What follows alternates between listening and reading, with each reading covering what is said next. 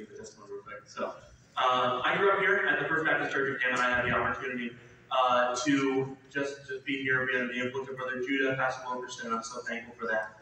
Um, you know, my dad came here in 1996 and he saw the Christian school, he saw the college, he saw the church and all the wonderful ministries that we have here. And, you know, he decided that he wanted to start his family here.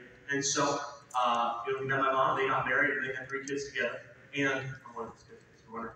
Uh, but, uh, uh, no, but, you know, things didn't work out exactly the way that my mom and my dad planned. And when I was eight years old, my parents, they got divorced. And growing up, that really, that ate at me. And that bothered me uh, just because why, I, I had so many questions. Why can't I have the things that a normal Christian home can afford? Why can't my mom and my dad, why can't we just sit and have dinner as a family? Why can't we be in church and just do things like that? Why can't I be in the Christian school? Uh, and just, you know, struggles in that way.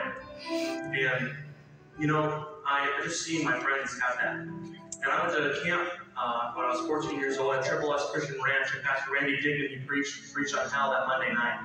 And I hadn't really thought about my salvation. I was really just angry at God and just frustrated. And so I wasn't really thinking about spiritual things. But, you know, I heard that message and I just really knew I didn't have a solid testimony of salvation. I didn't have the peace that comes with salvation. I didn't have any of that. And so I rose my hand and I asked, uh, or sorry, Brother uh, Chad Downey, he's on the property somewhere. Uh, he came down and he asked me if I wanted to talk. We went down front. And I, I trusted Jesus Christ as my Savior. And I can't, words cannot express the peace and the joy that I been able to experience and the love that I've uh, received from my Savior. And I'm just so thankful for that. And if you don't know for sure that if you die today, you would go to heaven, make sure that you trust Jesus Christ. Take the time, to talk to someone, and just during the invitation, we'd love to, go over with you and just help you know that you're going to heaven.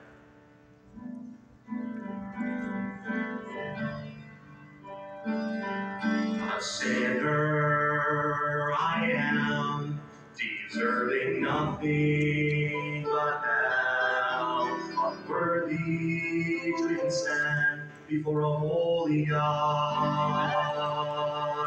But then a priest was sent from heaven, and now I'm made worthy by the blood that came falling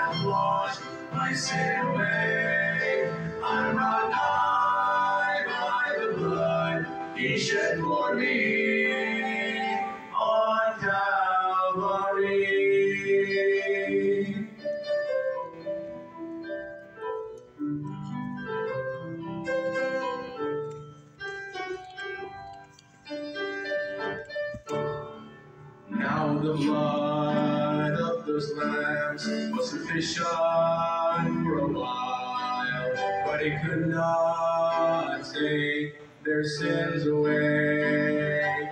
Oh, for the power in the blood.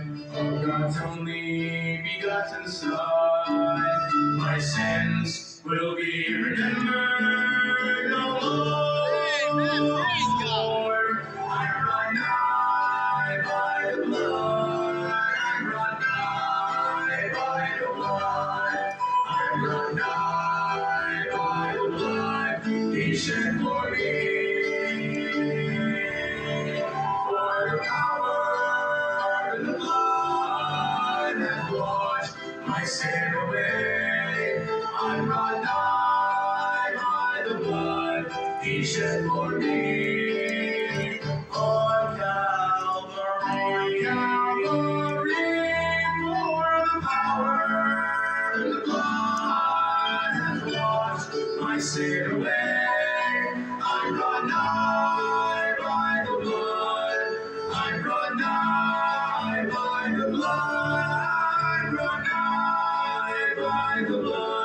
shed for me